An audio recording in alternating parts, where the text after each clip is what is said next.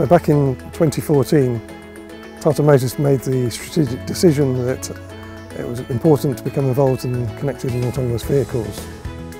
We started a programme within the UK to develop an autonomous demonstrator based on the Tata Ace electric vehicle.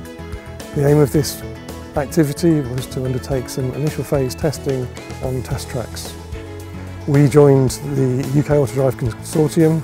The first programs, or demonstration programs we undertook was at MIRA, one of the consortium partners, where we initially demonstrated our connected vehicle. The project has continued with development of the autonomous vehicle and moved rapidly into testing on public roads. Initially this was uh, in Coventry, our hometown, and then more recently to Milton Keynes. Well, it's been really thrilling to work on cutting-edge technology that in the long run will have societal benefits to things like safety, congestion, uh, efficiency of the roads. Having worked on this project from the very beginning, it has provided me with the wonderful opportunity to work on new planning system algorithms that we have been able to trial on public roads. I've been working on this project for a couple of years um, and it's been an exciting and thrilling project to work on for something which is uh, going to have such a massive effect on people worldwide, increasing um, safety, um, personal comfort and convenience and uh, enabling mobility for many more people. It really is a fantastic thing to work on.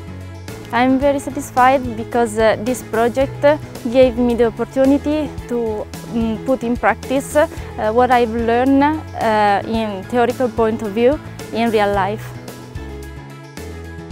Projects like uh, the UCAD project are absolutely critical um, and have a, a, huge impact on our ability to develop technology.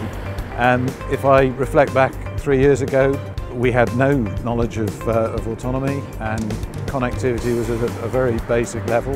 And here we are three years on, uh, demonstrating self-driving vehicles on public roads uh, with quite sophisticated connectivity. So um, it's essential that we participate in this, this type of programme.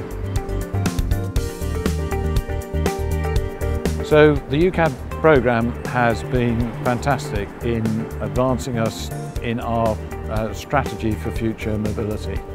Uh, UCAD has, has helped us enormously move forward in that respect, keeping Tata at the front edge.